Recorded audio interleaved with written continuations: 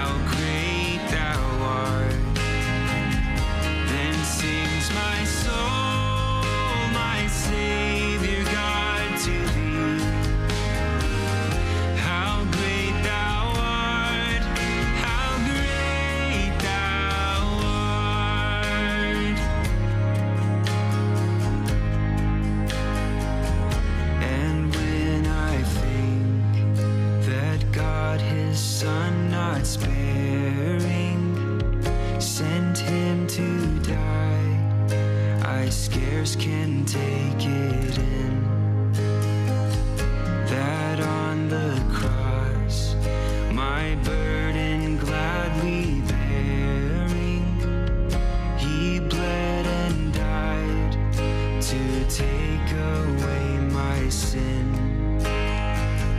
Then sings my soul.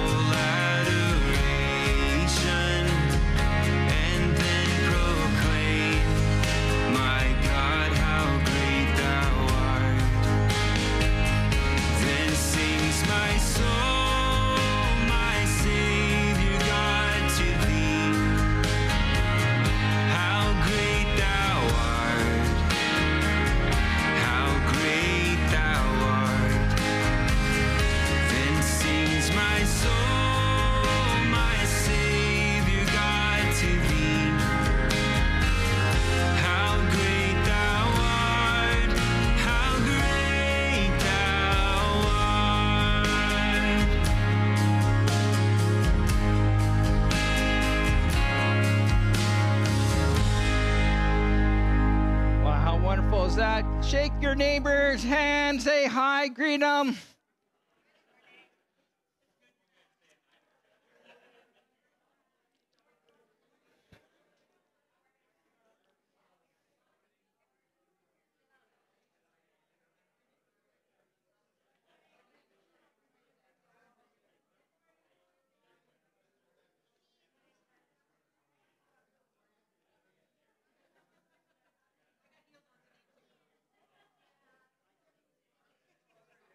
Well, fantastic.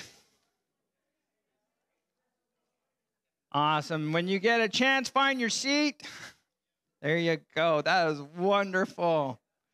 There you go. Awesome stuff. Well, guys, welcome to Dundalk Wesleyan Church. If you don't know who I am, my name is Chris. I'm the pastor of the church. I want to welcome you here for this wonderful day of worship. I want to thank those who are joining us online as well. Well, it's an exciting day. You're probably wondering, what in the world is this beside me? Uh, you know, I was in a rush and I always like getting a bath before I get up here. No, no, it's a baptismal tank. And we're going to be having two baptisms today, which is awesome. Clap your hands. I've had a few curious onlookers trying to look and see. You're more than welcome after the service to come up, take a look at it, feel how cold the water is with your hand if you like. If the kids are coming up, just remember the parents have to be with them. We don't want anyone else going in there. You know, all these cautions that I give about kids, it's because I was a kid, and anytime there was something you could do, I did. So I know all the ins and outs. So just saying, you're free after the service. If you're curious, come on up, take a look at it. You're more than welcome to. And uh, we just don't want anyone splashing the water or uh, climbing inside it to check it out. Okay, awesome stuff. Well, just a few announcements uh, tonight. Today, after our service, is our gratitude pot blessing. Uh, I hope you're ready to come and stay for the meal and enjoy. Uh, it's a great time for us to connect together. You know, we come to church to worship God, but a church grows in strength when we spend time with each other. So just encourage you to spend time with us, enjoying a meal. There's nothing like breaking bread together to kind of create those bonds. Talking about food on October 16th, SCC is having their next dinner. That's the third Monday of the uh, of the month. We're already into October. Uh, uh, Carolyn, is there any any? No, do you know what we're eating? Turkey. Yes, there you go. I, I didn't know if she was calling me a turkey or. yes, we're going to have turkey Yeah, 10th anniversary. Wow, that's exciting stuff. So good stuff with that. Um, also, your a couple people have been asking me. Uh, Don Hume had his surgery, his heart surgery this week, and he's doing well. And so, yeah. And he might even be home today. So you're free to give send him a text and just say, "Hey, we're praying for you." Uh, you know, it, uh, it's just a blessing that he's doing so well, and we're looking forward to having him back here. A couple other things that are happening in the week that you need to be aware of. Uh, we have a men's Bible study that meets at the pastor's study at 9:30 on Sunday mornings, and they're studying the attributes of God. And we have a midweek ladies Bible study that meets Tuesday here at the church at 10 a.m. and they're studying uh, studying uh, on the Apostle Peter. So there you go. That's I think that's all of our announcements. Oh, I know Dennis is going to bug me. It is the offer. It, it is uh, what is it? Benevolent Sunday, and so you'll see a white offering box uh, at the door. If you have some loose change or what have you, throw it in there. That 100% of the the money that's donated to that goes to help those in need, and we're always getting asked for help. So. Uh, if you have some loose change, feel free to do that. It's amazing when we toss in a couple of coins how that all adds up and can make a, a world of difference. I think that's it for all of our announcements. I'm going to ask Andy to come up. He's going to be reading our call to worship, which is Deuteronomy chapter 10, verses 14 to 21, and he's going to open our service in prayer.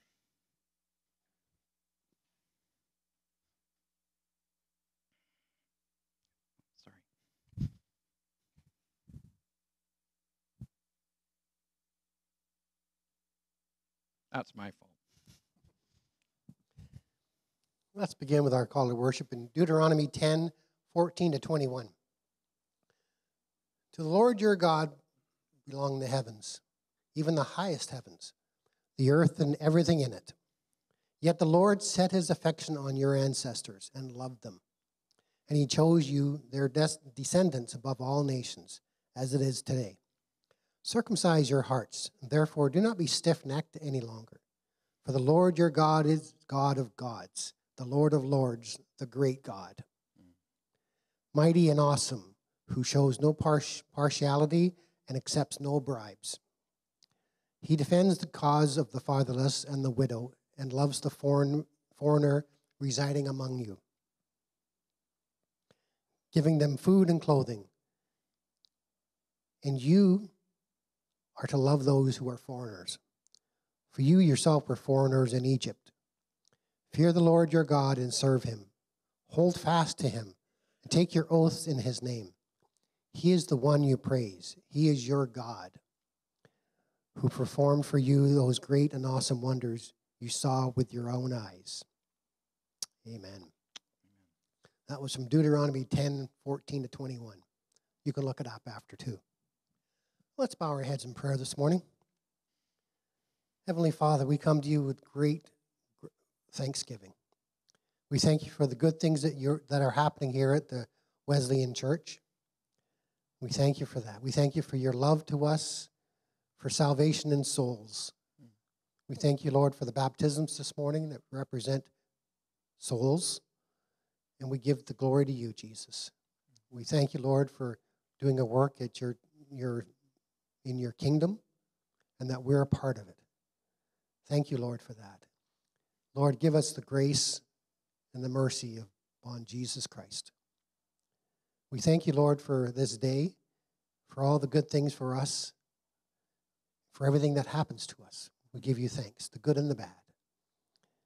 Father, we just praise your name that you'll honor, we'll honor you this morning in everything that we do, from singing to praying to just worshiping you, Father, as we give this day back to you.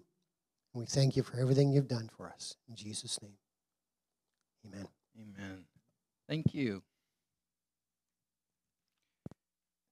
At this point in our service is uh, our time for our offerings. If the kids could come up and give us a hand with that. There you go. There we go. We can do two. Yeah, you, you guys figure it out. do we have anyone else? A little little one who wants to help? Okay.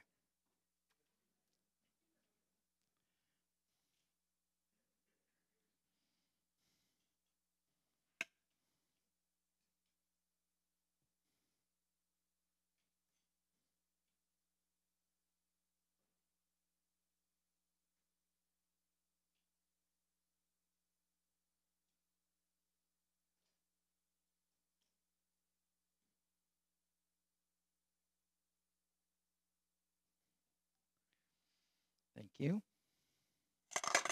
Thank you. Thank you. Love the enthusiasm. Let us pray. Our Heavenly Father, Lord, we thank you for another week. We thank you for all the blessings that we have received. We thank you for the times where we've really needed you and you've been there. We thank you for meeting our needs and exceeding those needs. We thank you for the work that we have, for the family that encourages, and for the friends who support. We thank you. In Jesus' name we pray. Amen. Amen. Let's continue worshiping the Lord through music.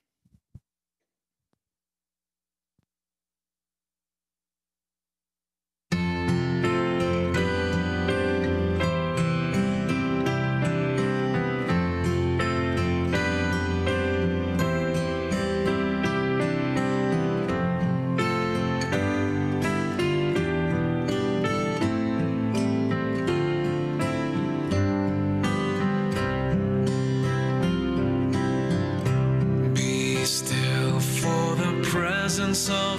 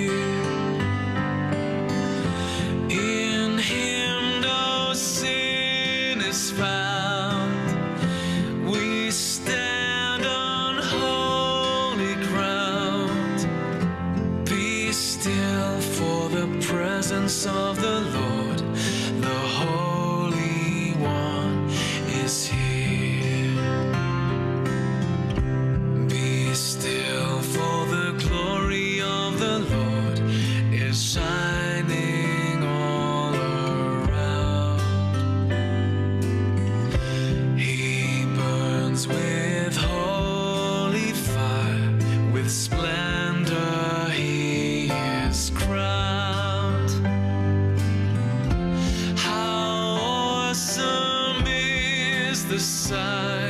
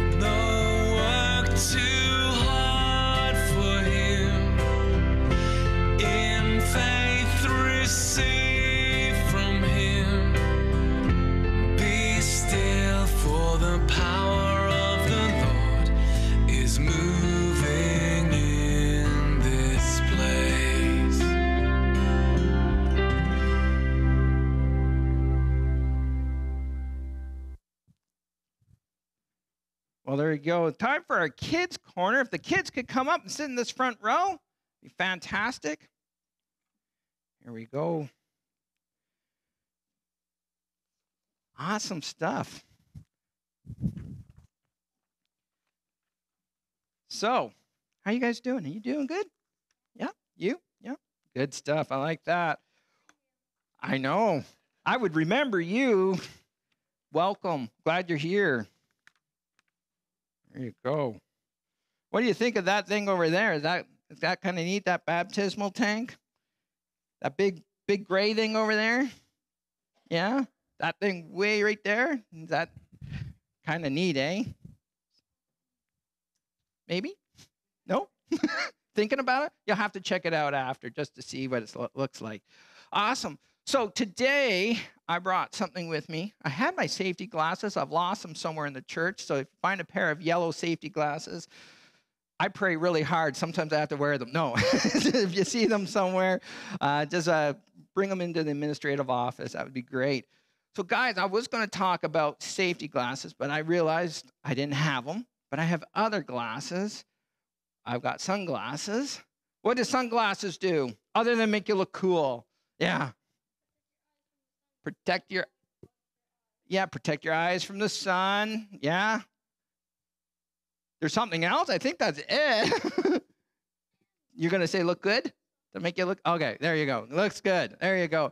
Anyway guys yeah so we use sunglasses to protect our eyes. You got have you guys ever seen safety glasses? Yeah. You have them at home. When do you wear your safety glasses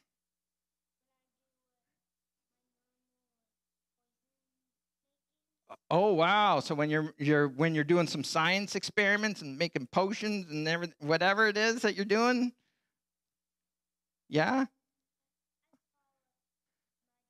Mud, mud poisons. Yes, that's a good thing. You don't want any of that stuff to get into your eyeballs. Yeah, for sure.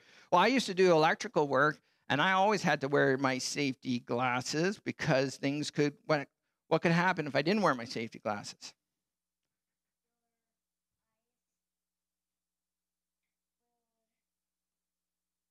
Maybe get yeah my eyes might bug me or get hurt or something like that.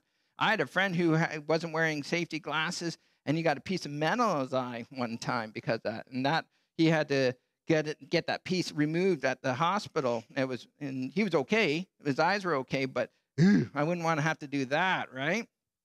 So in this world, there's lots of stuff that we do to protect our eyes. We wear safety glasses and all that kind of stuff so that they don't get hurt. When I go when I go skiing, I wear the uh, my ski goggles so that it protects me from the cold wind and the sunshine and all that kind of stuff.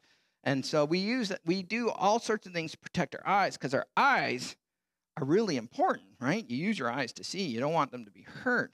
But I'm going to share today a verse because not only should we be protecting our eyes from those kind of dangers, like, say, a piece of, of uh, wood or mud going in our eyes, but also we're supposed to protect our minds. Now, the Bible says in Philippians 4 8, finally, brothers and sisters, whatever is true, whatever is noble, whatever is right, whatever is pure, whatever is lovely, whatever is admirable, if anything is excellent and praiseworthy, think about such things. There's so many things that we're exposed to that go into our minds, and we're supposed to protect our minds. So I remember being a little guy, and I watched a really scary movie. And before I watched that movie, I had no problem sleeping in my bed in the dark. But that scary movie made me scared of sleeping in my bed by myself without a light on. And so, what I'm sharing with you today is to say, instead of look, thinking about or focusing on those things that can hurt our minds, we need to be careful and protect our minds. And one of the ways that the Bible tells us to do that is to think of good things. And we can go to the Bible and be reading the Bible, and that would encourage us and fill our minds with good things. So just think about those things that you let in. Could be from the things you listen to to the things you're watching. We got to be careful and focus on those things that are good and pure and right. Okay, let's pray. Dear God, just thank you so much uh, for the words of wisdom that we find in the Bible. And uh, just help us to be aware of what we're allowing in our lives and in our minds. Help us to make the right choices so that we fill our minds with the good things you want us to have. We thank you. In Jesus' name we pray. Amen. Amen. Now we have children's church today, so uh, kids from uh, is it junior kindergarten to grade eight? Yeah, can go with our teachers. They're just right up there. So if you guys want to go, you can. Okay, awesome. If, there you go. We're going to continue. I'm going to take those glasses off. We're going to continue to worship God through music.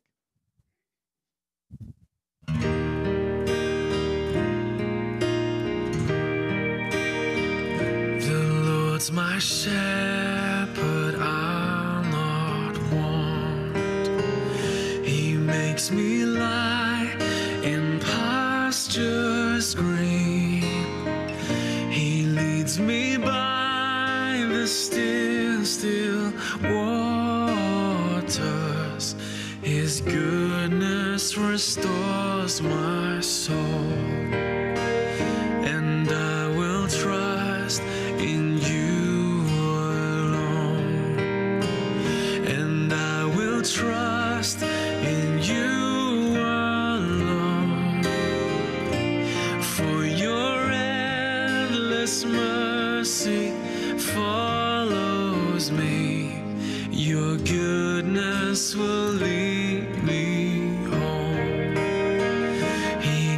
My ways in righteousness, and He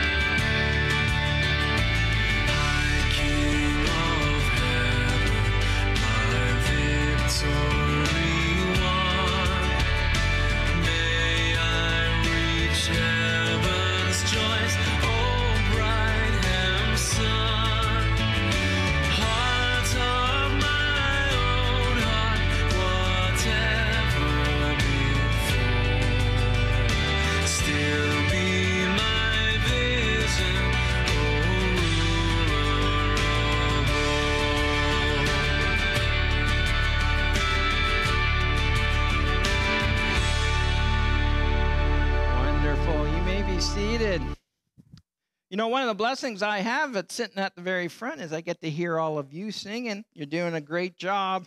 So there you go. Awesome stuff. Well, friends, we're turning to the Bible at this point. Uh, it's an exciting day. We're going to be celebrating baptisms, uh, and uh, um, we're going to turn to Romans chapter 6 right now. Chapter 6, we're going to read verses 3 to 11, and the focus, as you probably can guess, will be on the subject of baptism. So let's take a moment to pray. Our Heavenly Father, as we come to your word that we call the Bible, we ask for your blessing and for your leading during this time. In Jesus' name we pray. Amen. Amen. So we're going to get right into Romans chapter 6, verse 3 to 11. Or don't you know that all of us who were baptized into Christ Jesus were baptized into his death? We were therefore buried with him through baptism into death, in order that just as Christ was raised from the dead through the glory of the Father, we too may live a new life. For if we have been united with him in death like this, we sh- will certainly also be united with him in a resurrection like his. For we know that our old self was crucified with him so that the body ruled by sin might be done away with, that we should no longer be slaves to sin. Because anyone who has died has been set free from sin. Now, if we died with Christ, we believe that we will also live with him. For we know that since Christ was raised from the dead, he cannot die again.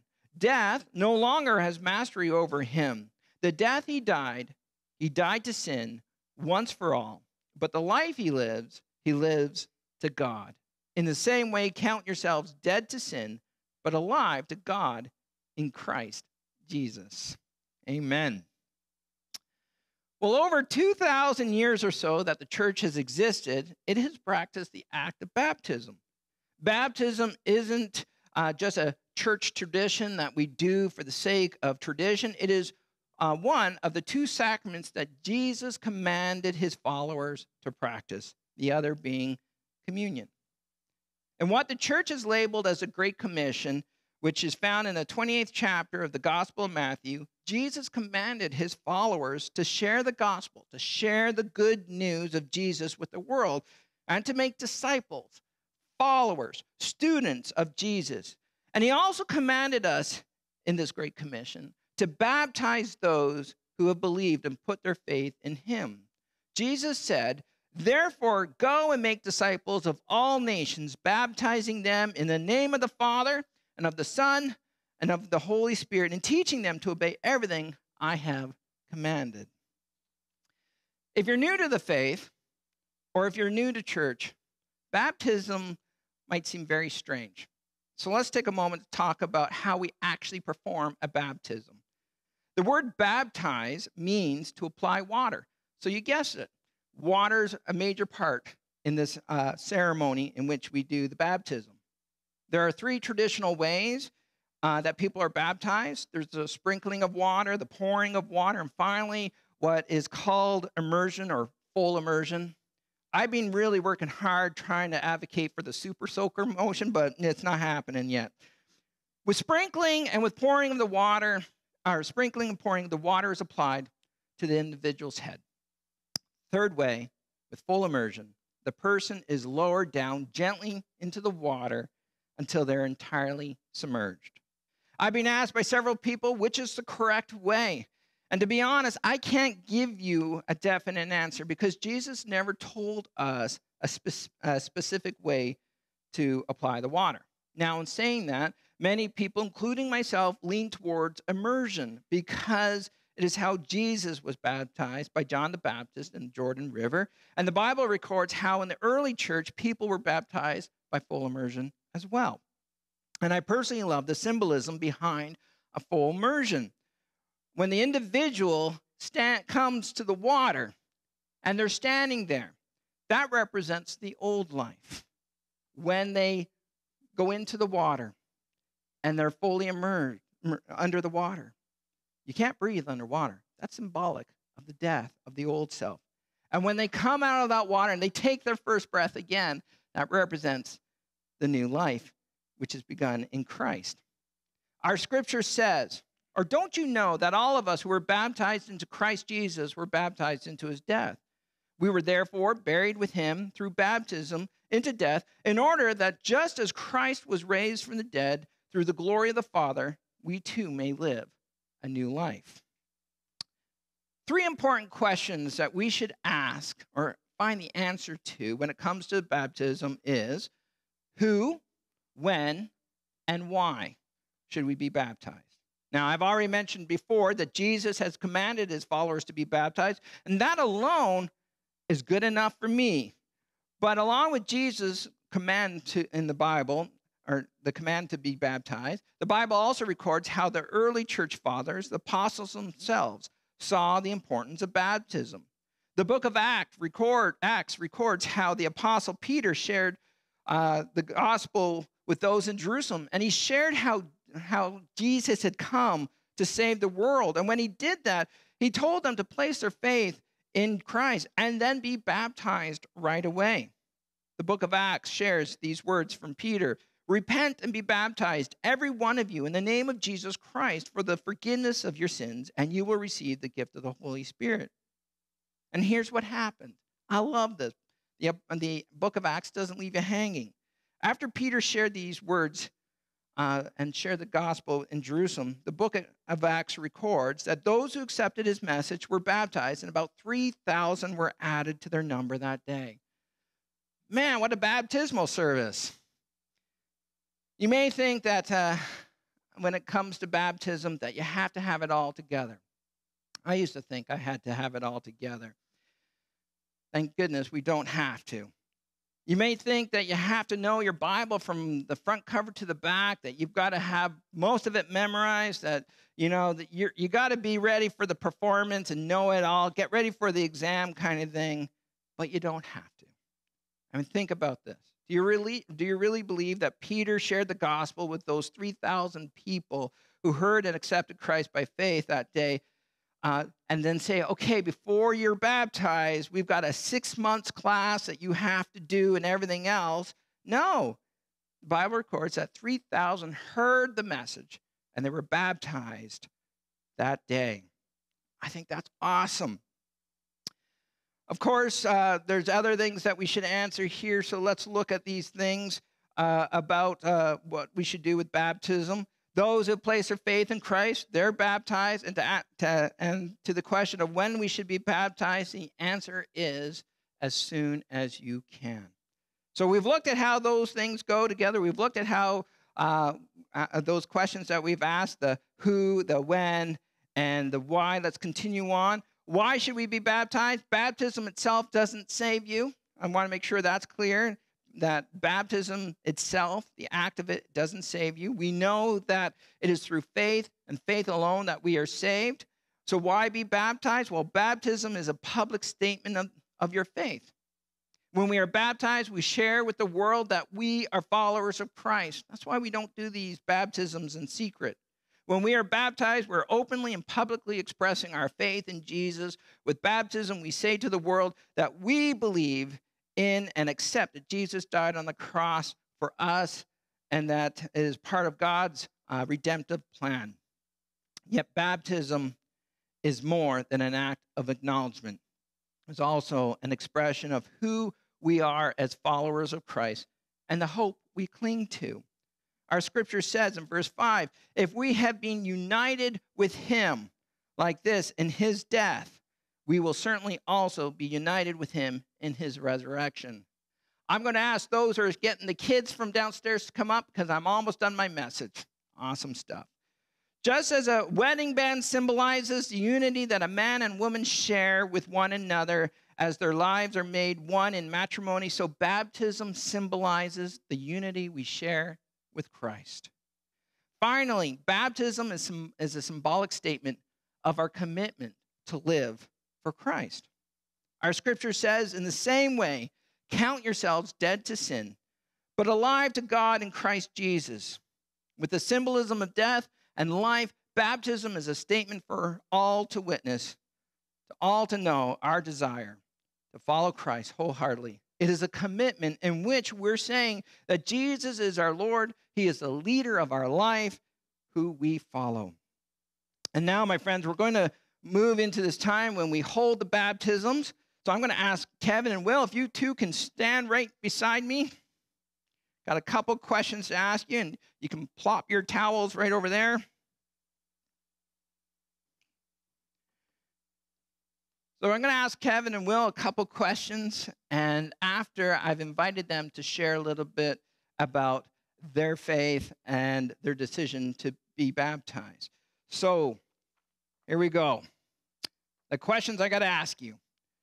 Do you believe in the God the Father, the Son, and the Holy Spirit, that Jesus Christ, the Son, suffered in your place on the cross, that he died but rose again uh, that he is now sits at the Father's right hand until he returns to judge all people at the last day, And do you believe in the Holy Scriptures as the inspired Word of God, that by the grace of God, every person has the ability and responsibility to choose between right and wrong, and that those who repent of their sin and believe in the Lord Jesus Christ are justified by faith? If so, please say, All this I steadfastly believe. All awesome. Do you intend by this act to testify to all the world that you are a Christian and that you will be a loyal follower of Christ? If so, please say, I do. There you go. Kevin, I'm going to give you the mic if you'd like to share a few words. Um, as some of you know, um, I was born a Mennonite. I'm the youngest of 36 kids. So, yeah. um, my dad, we, we read the Bible every night. Um, it was our going to bed stories. But uh, my dad died when he was when I was 10. So I've been struggling to find a home where I can believe in my Lord. So I think I've found it. Amen. Amen. Amen. Thank you. Thank you.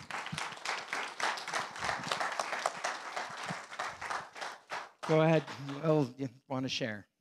Well, since being new to Dundalk and coming to a church on a Friday and listening to a few people sing, and they greeted me with such open arms and such such uh, love and faith that I uh, decided to come here and realize that opening up here is the best thing that has ever happened, and getting baptized means that I will be one step closer to our Father, Son, and Holy Spirit.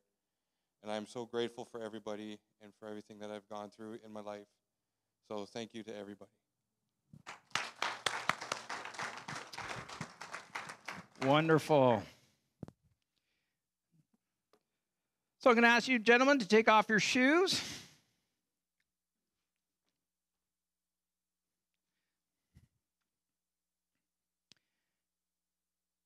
Kevin, I'm going to get you to come in.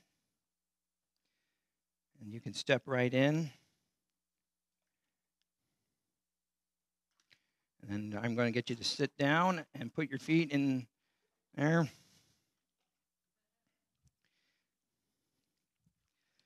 What a wonderful day. Amen. Amen. Smile at the camera. Kevin, I baptize you in the name of the Father and of the Son and the Holy Spirit. Amen. Yay!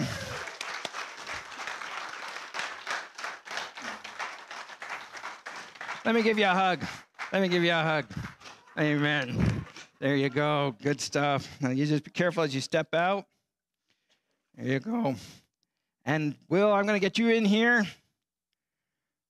There we go. Just uh, hold the sides, and I'm going to get you to step all the way down. And you can sit. So these guys are very thankful for those who assisted in setting up the baptismal tank because this water is as warm as a bathtub. I was asking for ice cubes, but well, so glad to have you here, and I'm just so gl- thankful that I can be a part of this as well for you, and so glad that uh, that you feel the way you feel, and that God is working in your life. I want you to know that I'm going to baptize you in the name of the Father and the Son and the Holy Spirit. Yay! There we go. Let me give you a hug. There you go. There you go. Awesome stuff. Good job. Let's give them one more hand. So you guys can go and dry off, and uh, just be careful when you go into the bathroom that you don't slip on the tile, okay? And we're going to continue on with our service by closing with uh, a song and a closing prayer. So let us continue the service with that song.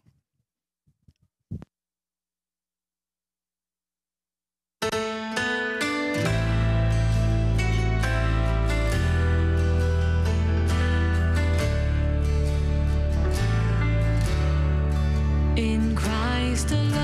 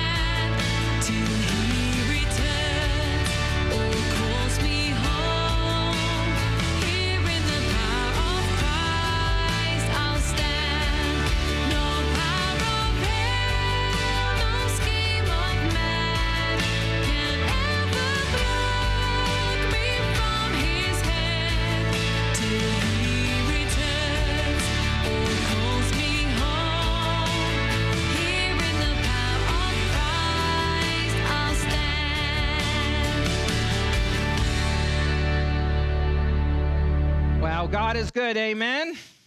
Amen. Well, friends, we're going to close our time here, but just before I do, I want to encourage you. You know, one of the great things about seeing a baptism is it encourages others to take that step of faith too. And so, if you are feeling God nudging you to make that decision, if you want to be baptized, I want you to talk with me, okay? And, and we can uh, answer any questions and move forward from there. So that is fantastic. We're going to close in prayer. And remember, we have a, a luncheon after this. And so we're going to uh, also say grace in, in our closing prayer. So let us pray. Lord God, we just thank you for the decision that both Kevin and Will made to be baptized today. Their act of faith is one that encourages the church as it reminds us of both what God has done for us and through his Son and it is a reminder for us who we serve with joy and with faith. We pray and ask for your blessing on both Kevin and Will. Help them to continue to grow in their faith. We thank you for their church family who walk beside them, supporting them, encouraging them as they encourage us. Help us as a church to remember this act of faith and to continue to press forward, to continue to share the gospel message and the love of Christ with our community. Lord, we want to see lives changed and we want to see people come to the knowledge of your love and your grace and your forgiveness. Lord, as we close this time of our service, we, we uh, want to also give you thanks for the meal and the time that we're about to enjoy. We thank you for those who have prepared the food, for those who are right now getting ready for that meal that we will enjoy. We just ask for your blessing upon the food and upon the time that we share together. We thank you. In Jesus' name we pray. Amen. Amen. And that concludes our service.